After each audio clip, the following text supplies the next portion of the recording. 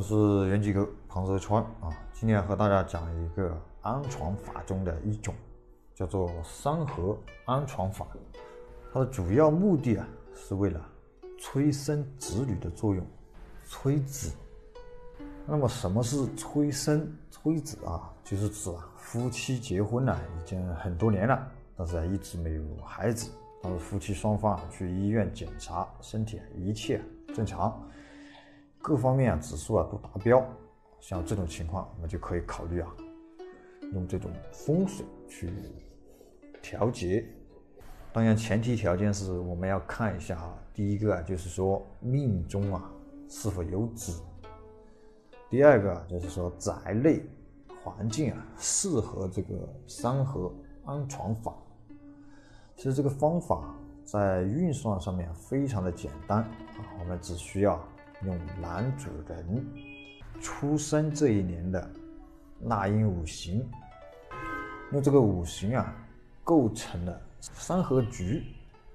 去安床啊，所以啊，我们首先要了解六十甲子纳音，可以去纳音表查询这个纳音的五行啊，也可以按照前几天视频讲过的啊，用掌中诀去推算出纳音五行就可以了。那么现在我们就举一个例子，比如说是一九啊八四年啊甲子年出生的，属鼠啊甲子乙丑是海中金命，金，它的纳音五行为金。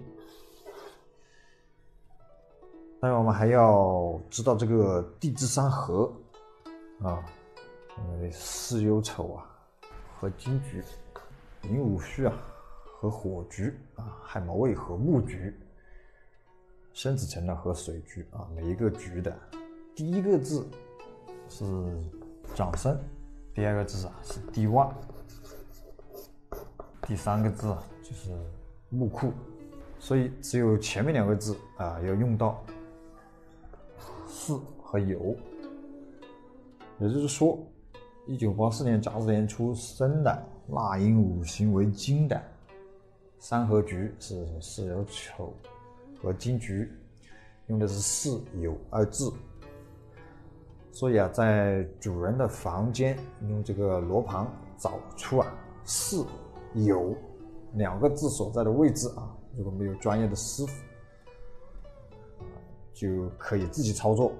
用手机中的指南针定位，我们的四啊，在一百四十二点五度到一百五十七点五度啊之间，当然这个油是两百六十二点五啊，到这个两百七十七点五。看这两个位置中哪一个适合安床啊？首先要排除一些刑法上的禁忌，比如说床头啊靠窗户、厕所、镜子等等都不行。比如说这是一个房间图，上面是啊南、北、东、西啊，那么四在这个位置啊。有，在这个位置，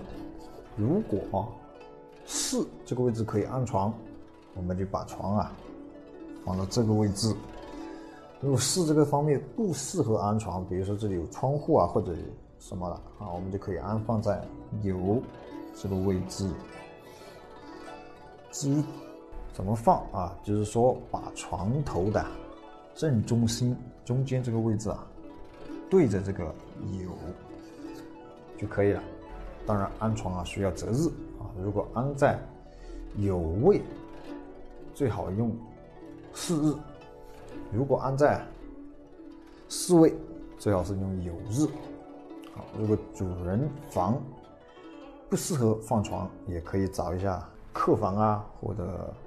其他的房间。如果家中所有的房间都不适合，啊，证明跟这个孩子的缘分还没到。这个三合安床法，如果环境配合、位置啊，还有日子啊，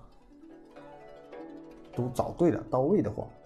催子的作用啊，是非常的明显。